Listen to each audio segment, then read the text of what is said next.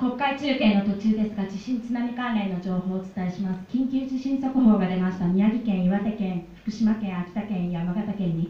緊急地震速報です。強い揺れを感じた地域の皆さんにお伝えしております。今これが陸上の様子です。波が今住宅や畑を飲み込んでいくのが分かります。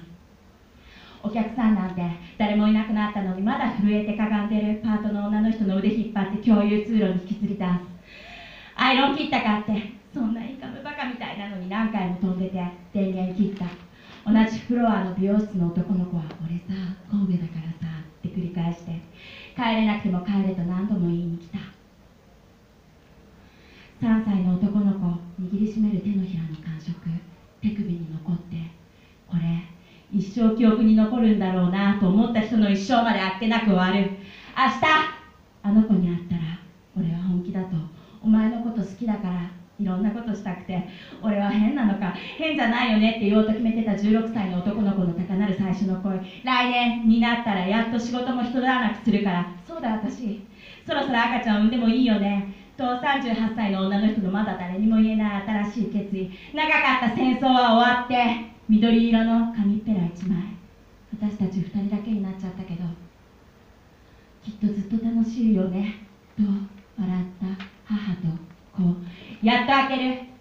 朝の匂い嗅いでうつむいて渡る国道17号眠たいと疲れたが誰かにぎゅっと抱きしめられたいが混じり合って緩む涙腺に蓋するみたいにタバコの煙は染みて朝焼けばかり綺麗だから今夜は雨になるかもしれない。女は死んだ。男は死んだ。売春婦も嘘つきもお人よしも。医者は死んだ。教師は死んだ。コミュ障も死んだ。犬は死んだ。精神病患者も死んだ。だけど私の大嫌いな男は死ななかった。歌は死んだ。言葉は死んだ。好きは死んだ。嫌いは死んだ。きちんとあったのになかったものがなったとか死ぬことことじゃなかったら生きるってなんだ？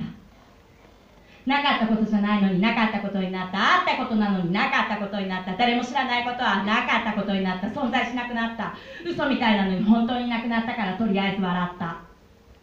3歳の女の子握りしめる手のひらの汗感じながら眠る。私の幸せのようなものはいつかあっけなく終わる。私は泣かない。あんなに嫌いな男でも生きてるって分かって嬉しい。あんなに嫌いな男でも生きててよかった。これはきっと愛じゃないかもしれない。そんなに簡単なことではない。でも愛は本当はそういうものかもしれない。人であること